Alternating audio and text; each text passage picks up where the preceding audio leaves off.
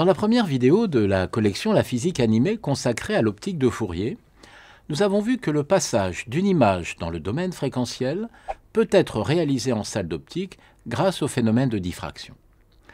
Les fréquences spatiales deviennent alors accessibles dans le plan de Fourier.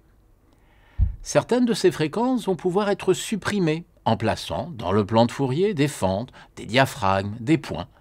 L'image sur l'écran sera alors modifiée. On effectue ainsi un filtrage spatial par analogie au filtrage temporel, dans lequel on élimine des fréquences temporelles. Dans cette seconde vidéo de la collection La physique animée consacrée à l'optique de Fourier, différentes expériences illustreront cette modification d'une image géométrique d'un objet par un système optique en agissant directement sur le spectre de ces fréquences spatiales. Nous verrons ainsi comment mieux voir les détails d'une plume, détecter une empreinte digitale, détramer une image et plus encore. Commençons par donner le principe du filtrage spatial. Nous avons montré dans la première vidéo de la collection La physique animée consacrée à l'optique de Fourier que l'on pouvait observer le spectre fréquentiel d'une photographie dans le plan focal image d'une lentille convergente, appelé plan de Fourier. Nous y avions observé par exemple le spectre de Fourier d'un arbre. Les taches lumineuses proches de l'axe optique correspondent aux basses fréquences spatiales. Celles-ci caractérisent le fond continu et les détails grossiers de l'image. Les taches lumineuses éloignées de l'axe optique correspondent aux hautes fréquences spatiales. Elles caractérisent les détails de l'image. Un masque agissant sur l'amplitude et la phase de la lumière incidente, disposé dans le plan de Fourier, permet de modifier le spectre d'ondes planes et par conséquent l'image initiale. C'est le principe du filtrage spatial. Revenons maintenant en salle d'optique pour réaliser du filtrage sur différents objets. Commençons par éclairer une plume avec un faisceau parallèle en lumière blanche. L'image de la plume est son ombre se dessinant dans le faisceau. Puis, plaçons un cache circulaire dans le plan de Fourier. On utilise ici une tête d'épingle, de manière à intercepter la composante continue du faisceau lumineux. On constate que l'on observe sur l'écran de projection les contours de la plume.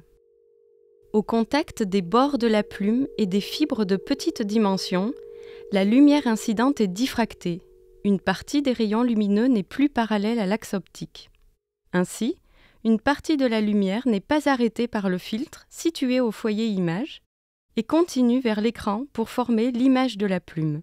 On a bien réalisé un filtrage passe-haut qui permet de mieux voir les contours et les détails les plus fins de la plume. De la même manière, nous pouvons réaliser un filtre passe-bas en venant couper les hautes fréquences de l'image. Nous remplaçons la tête d'épingle par un diaphragme de taille plus petite que le diamètre du faisceau lumineux afin de couper la partie des rayons diffractés par les petits motifs de l'image. On reconnaît l'aspect général de la plume, mais les détails fins sont moins visibles. Observons maintenant à l'œil nu une empreinte digitale sur une lamelle de verre. Il est difficile d'en percevoir les motifs. À l'aide du filtre passe-haut, la tête d'épingle, comme dans l'expérience de la plume, les détails apparaissent très clairement. Mettons maintenant en évidence un contraste de phase entre deux milieux transparents. On réalise l'image d'une cuve remplie d'eau et éclairée en lumière blanche. Faisons tomber une goutte de glycérol sans montage particulier, il n'est pas possible de distinguer le glycérol dans l'eau. Plaçons alors la tête d'épingle au centre de la figure de diffraction de l'objet, dans le plan de Fourier, pour éteindre le fond continu. On observe maintenant sur l'écran l'image de la cuve modifiée. Le glycérol apparaît nettement grâce au filtrage passe-eau. En présence de glycérol, L'indice de l'eau n'est plus homogène et varie rapidement au niveau de la goutte avec des fréquences spatiales élevées. En l'absence de filtrage, l'intensité est uniforme sur tout l'écran. Le filtrage passe haut supprime le fond uniforme et met en valeur les variations locales d'indice. La goutte de glycérol devient visible. Réalisons maintenant l'expérience d'Ab et de Porter qui illustre le détramage d'une image. Pour cela, prenons le cas d'une grille éclairée en lumière blanche dont le spectre est représenté dans le plan de Fourier. Et plaçons une fente fine, verticale, dans le plan de Fourier. Seules les fréquences spatiales associées aux lignes horizontales ne sont pas arrêtées. Ainsi, les lignes verticales disparaissent et on obtient sur l'écran uniquement l'image des lignes horizontales. Lorsqu'on augmente la largeur de la fente, l'image complète de la grille réapparaît. Plaçons désormais une fente horizontale dans le plan de Fourier. Les fréquences spatiales associées aux lignes horizontales disparaissent cette fois et on obtient sur l'écran l'image des lignes verticales. Amusons-nous maintenant à placer la fente inclinée de 45 degrés. On observe dans le plan image des lignes inclinées du même angle.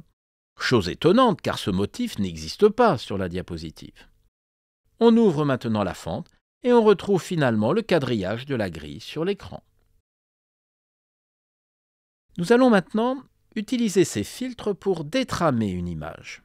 Nous choisissons un éclairage laser afin d'avoir plus de lumière et l'image du spectre bien définie.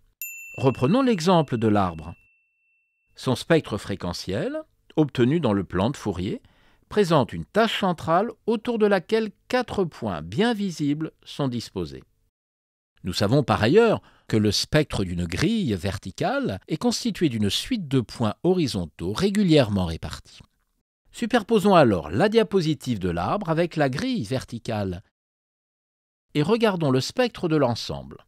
C'est une succession de motifs constitués du spectre de l'arbre, répétés régulièrement sur chaque point du spectre de la grille. Comme nous l'avions vu dans la vidéo de la physique animée sur l'échantillonnage temporel d'un son, superposer les deux images revient à périodiser le spectre dans l'espace de Fourier. On peut détramer l'image de l'arbre à l'aide d'une fente horizontale dans le plan de Fourier. Nous venons de mettre en évidence le filtrage spatial en salle d'optique. Donnons de la même manière quelques exemples de traitement d'images numériques. Dans le domaine de la recherche médicale, des chercheurs mexicains arrivent à extraire l'information relative à la vascularisation d'un œil pour un patient souffrant d'un glaucome.